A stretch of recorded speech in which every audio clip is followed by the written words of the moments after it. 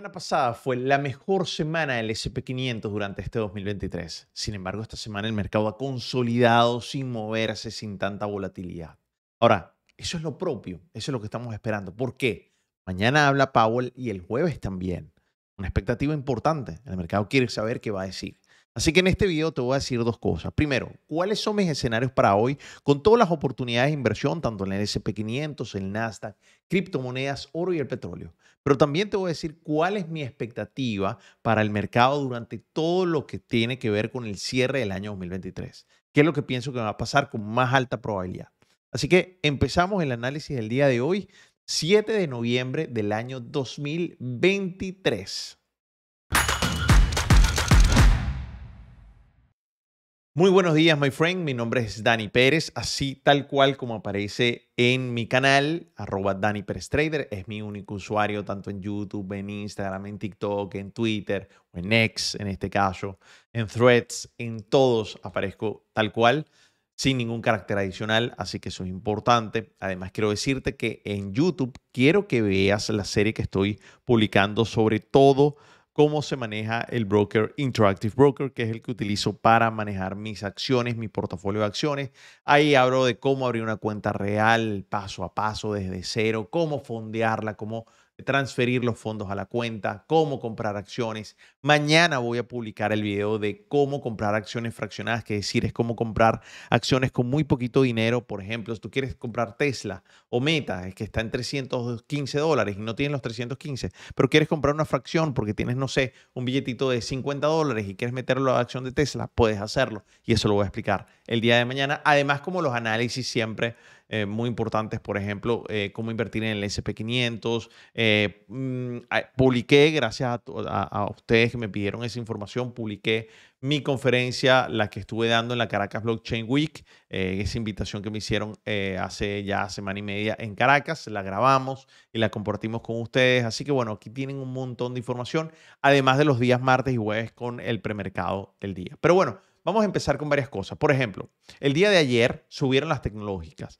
Fueron las que más o menos tuvieron, las que hicieron que tuviera el mercado eh, a nivel general bastante flat, bastante plano, porque el resto de las acciones, con algunas excepciones como salud y algunas acciones defensivas, pudieron estar hacia la baja. Sin embargo, ¿qué es lo que está pasando? ¿Por qué el mercado, después de esa subida tan importante que tuvo la semana pasada, el mercado no siguió subiendo? Bueno, porque mañana a las 9 y cuarto de la mañana va a hablar Powell en Washington. De hecho, va a hablar en una conferencia en la eh, división eh, en la división de investigación y estadísticas de, la, Centennial Conference, que es una conferencia pues que se hace anualmente y digamos que eh, él va a hablar, va a ser bien interesante porque digamos que pienso que va a tener eh, siempre incidencia. Acuérdense que Powell es hoy para los mercados lo que era Trump en su momento cuando era presidente. Es el que mueve el mercado. Así que vamos a ver qué tiene por decir.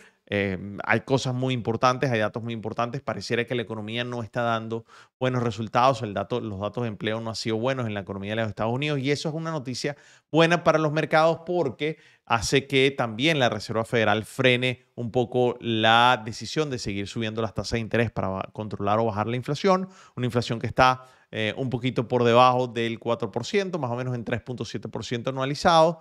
Eh, obviamente muy por debajo del pico que estuvo en algún momento eh, después de la pandemia, eh, por allá por encima del 9%, pero también muy por encima de la meta de la Reserva Federal del 2%. Por eso para ellos seguir subiendo tal vez las tasas de interés es una estrategia que está sobre la mesa. Sin embargo, cuando la economía ya da signos de que no puede seguir aguantando tasas de interés y sobre todo el empleo es uno de los, de los indicadores más importantes para esa decisión, pues digamos que de alguna manera la Reserva Federal puede estar teniendo o seguir en la pausa de subida de tasas de interés como hizo en la, en la última reunión que eh, tuvieron este, hasta el primero de noviembre. Una reunión que, por cierto, fue bastante interesante y la minuta de la reunión a mí me gustaría leerla porque creo que va a tener información sumamente importante para los mercados. Pero también el Banco de Inglaterra y el Banco Europeo no han subido las tasas de interés en la última en la última decisión que tuvieron. Así que bueno, eh, digamos que pareciera que lo que va a decir Powell tanto mañana como el jueves, el jueves también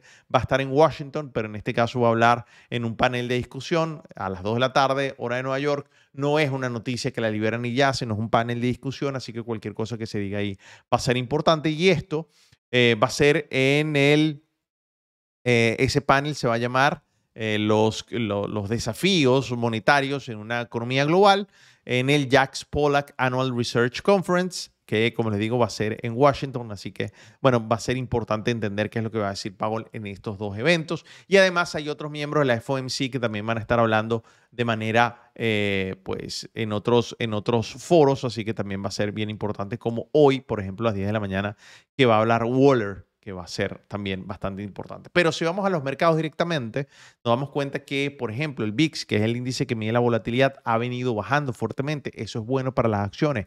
El dólar también ha venido bajando, aunque hoy tiene un ligero repunte. Eh, sin embargo, todavía pareciera que el mercado estuviera eh, indicando que pudiera bajar un poco más, aunque esto pareciera un retroceso para mayor continuación alcista. Vamos a ver qué pasa justamente en este punto. Creo que estamos en una zona de decisión importante. De hecho, los bonos, el rendimiento de los bonos, en este caso, por ejemplo, el de dos años, que es el que tú puedes em, comparar bastante con eh, las tasas de interés, en este caso, solemos hacerlo, solemos, nos suele dar una visión de lo que puede venir un ajuste de tasas o si el inversionista está esperando que se suba o que las tasas ya no suben más, pues en este caso pareciera estar indicando que definitivamente las tasas eh, se van a quedar así un buen rato. Si veo el SP500, voy a verlo primero en una gráfica un poquito más eh, amplia, ¿ok? Un poquito más eh, a largo plazo, vamos a ver una diaria, nos damos cuenta que el mercado, digamos, de alguna vez eh, tuvo un comeback impresionante, un comeback que no había tenido desde las caídas que estamos teniendo desde el principio de agosto. Pero aparte de eso, es muy probable que el mercado siga subiendo mínimamente hasta el precio de 4.428. En este momento estamos en 4.377. Entonces, eso es importante. De hecho, yo les decía, y para los que lo notaron y los que han seguido mi canal mucho tiempo, eh, ustedes habrán visto aquí como el BOO, que es el índice es el ETF donde yo invierto en el SP500 a largo plazo. Esa, ese, ese, vean los videos viejos, sobre todo los que publico los martes y jueves, como siempre ese indicador estuvo ahí, incluso cuando el mercado estaba aquí arriba. Yo les decía que cuando llegara el mercado hoy iba a invertir. Eso fue lo que hice, volví a invertir, a retomar, a acumular más posiciones de ese, de ese índice y bueno, en este momento hasta ahora está saliendo bien. Y bueno, eso es importante porque el mercado tuvo una reacción realmente bastante interesante donde estuvieron los compradores. Si vemos aquí el mercado un poco más eh, a corto plazo, miren lo que hizo la semana pasada, una subida realmente impresionante, con mucho mayor ángulo que la bajada. Esto es importante, pero también en este momento está em, presentando una señal de consolidación, como estarse, como venir en un carro muy rápido y de repente tener que reducir la velocidad en un reductor de velocidad. Bueno, eso se llama en todos los países diferentes. Policías acostados.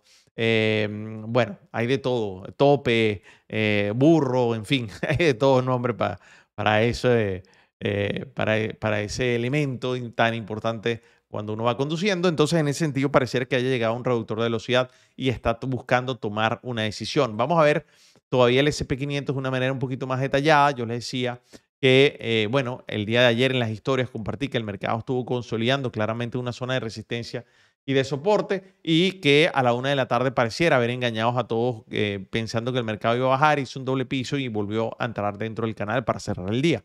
Ahora, en el horario no regular pareciera que está haciendo lo mismo, eh, aquí tuvo una especie de engaño y lo interesante es que luego de romper, hacer máximos y mínimos más altos, pareciera que está teniendo un retroceso. Vamos a ver si para mayor continuación y logramos llegar a los 4.387. Si el mercado aquí sigue con su estructura alcista, pudiera llegar a 4.387 y pienso que en este punto, entre los 4.377 y 4.387, pueden venir oportunidades de inversión en largo. ¿Por qué? Porque fíjense que si vemos el perfil de volumen y, ustedes a los que operan como operamos nosotros en MDC Trading Academy, en MDC Capital Group, se dieron cuenta que el perfil de volumen en las áreas de valor del día viernes fueron 4.387 y 4.364, que prácticamente es la misma distancia que recorrió el precio el día de ayer lunes. Así que los que se dieron cuenta de eso pudieron haber aprovechado tal vez algunas oportunidades importantes y unos swing muy buenos, a pesar de que eh, seguramente hayan tenido que tener muchísima, pero muchísima em, paciencia, que es lo más importante. Pero bueno, vamos a ver qué pasa si el mercado no logra hacer ese movimiento como mi primer escenario pues es muy probable que el mercado pueda, si logra, logra pasar los 4.375, 74, es muy probable que logre llegar a los 4.364. Hay 10 puntos también, pero en mi caso no me interesaría tomar entradas en ese punto. Preferiría quedarme un poco la expectativa si logra pasar el precio de los 4.363 y ahí sí pienso que pudiéramos llegar a los 4.357 y abrirse una oportunidad de invertir en corto de manera importante. Si vemos ahora el SP500, pasemos al Nasdaq. Si pasamos al índice de la tecnología, a una gráfica diaria, nos damos cuenta que estamos justamente en una resistencia importante, una resistencia donde el mercado va a tomar una decisión de inversión. Si logramos pasarla, ojo, ojo, porque pudiéramos estar llegando a máximos históricos otra vez. Que ojo, para mí, yo pienso que Generalmente el último trimestre del, año siempre termina siendo bastante bueno, no siempre, con alta probabilidad termina siendo bastante bueno para los mercados y eso es algo que pudiera seguir pasando. Eso es algo que en este 2023 está la expectativa, sobre todo si vuelve a pasar este, este precio en el que estamos ahorita. Porque si ustedes ven, friend, miren, miren, miren aquí el ángulo de la subida de todo el año 2023 versus el ángulo de la bajada. Esto pareciera ser un retroceso para mayor continuación. Es más, se lo voy a comprobar eh, aquí claramente con eh, trazando un Fibonacci. Dame un segundo aquí. Voy a trazar, trazar, aquí un Fibo. Voy a quitar este Fibo de aquí. Un, un segundo. Lo voy, a, lo voy a trazar desde aquí. Un segundito aquí. Miren cómo yo voy a trazar el FIBO justamente de donde empieza este año, ¿ok? O a finales del año pasado versus donde estamos en el pico. Y miren cómo justamente, miren cómo justamente llega al área del 38%. Cantado, Frank, cantado. 38% con la línea 200, tremenda confluencia. Bueno, ahí había un largo realmente bastante importante y es lo que estaba buscando. Acuérdense que el Nasdaq ha sido el instrumento que ha manejado la narrativa durante el año 2023 y lo va a seguir manejando. El índice de tecnología al final termina siendo el futuro y no solamente el futuro, sino al final termina siendo el que mueve también el SP500, eh, eh, la ley del Pareto. Así que eso realmente es lo que pienso que va a pasar. Mírenlo aquí de una manera un poco más detallada. Yo pienso que el mercado va a seguir subiendo hasta el área de los 15.383 con altísima probabilidad. Ahora, vamos a ver el petróleo. ¿Ok? Vamos a ver el petróleo. Miren cómo sigue bajando. Obviamente la expectativa de la economía no está bien, eh, todavía está el fantasma de la recesión rondando por ahí y eso ha hecho que los mercados, a pesar de tener una situación geopolítica tan tensa, el petróleo haya empezado a descender nuevamente porque los resultados de las economías no están siendo tan buenos y eso ha sido bueno para, para que no suban las tasas de interés, pero bueno, no es bueno para instrumentos como el petróleo después de esa subida importante, insisto, con la tensión geopolítica tan fuerte que hay desde todo punto de vista a nivel mundial. Ahora, el oro sí capitalizó, el oro sí subió. ¿Por qué? Una posible eh, expectativa de recesión más los mercados bajando, pues obviamente son dos elementos eh, claramente que benefician el oro. Vamos a ver si este retroceso es para mayor continuación y logramos llegar a los 2090. En este momento con esta subida no logramos superar los 2008, 2007, así que vamos a ver qué pasa. Creo que esta reacción eh, pues fue buena, fue productiva. Vamos a ver si logra pasarlo. En el caso de las criptomonedas, sigue siendo una subida lenta, tenue, ¿ok? Pero pienso que pudiéramos estar llegando a los 37 mil con alta probabilidad, por lo menos en este punto. Ethereum justamente llega a la zona de resistencia que tenía alrededor de los 1910 y el mercado logra bajar un poquito. Vamos a ver si logra superarlo, sería súper bueno para ver si logramos superar la barrera de los 2000 nuevamente. Y en el caso de ADA, también llega justamente a la zona de resistencia que era eh, está dentro de un Fibonacci que tenía y llega a la zona del 23%. Justamente ahí el mercado se devuelve. Vamos a ver si para mayor continuación eh, ojalá, ojalá. Sería muy bonito ver a alrededor de los 0.43. Así que, Frank, varias cosas, varias cosas aquí porque, porque conversemos. Primero, mañana voy a publicar en el canal el video de acciones, de cómo invertir en acciones fraccionadas, es decir, cómo invertir con poquito dinero en las acciones. No dejes de verlo porque va a ser importante. Y también en mis historias voy a irle narrando cosas que vea interesantes lo que vaya diciendo Powell.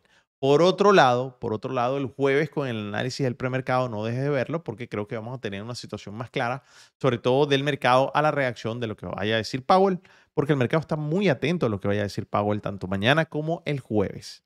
Y por último, y por último, siempre digo, aquí está, lo puse esta vez en un mensajito, invierte en tu mente, creo que es la mejor eh, inversión que puedes hacer para poder invertir con conciencia, entendiendo lo que estás haciendo y creo que en este canal la información gratuita que te estoy eh, posteando y estoy publicando todo el tiempo, es una gran forma de empezar. Es, la realidad. No hay excusa para no hacerlo. Así que, Frank, te mando un abrazo, que tengas una buena operativa, un gran día de inversión y nos vemos entonces el día de mañana con ese video de Interactive Broker de cómo invertir en acciones con poquitísimo dinero es decir, si tú quieres comprar, por ejemplo, una acción como Meta, que está alrededor de los 315 dólares y no tienes los 315 dólares, puedes invertir. Si, tienes, dices, bueno, yo tengo un billete de, tengo, tengo un dinerito, tengo 30, 40 dólares y quieres empezar a invertir para que vayas ganando experiencia, bueno, puedes invertir en la acción de Meta, comprando la fracción de la acción que equivale a esos 30 dólares. Eso se puede hacer perfectamente. Lo que pasa es que el desconocimiento muchas veces hace que limite muchas cosas y nos limite y por eso digo, invierte en tu mente porque esa es la forma donde definitivamente eh, vas a poder alcanzar muchísimas cosas y muchísimas de las metas que estás buscando, pero tienes que aprender. Y eso es lo más importante. Frank, te mando un abrazo. Gran operativa, gran día de inversión. Bye.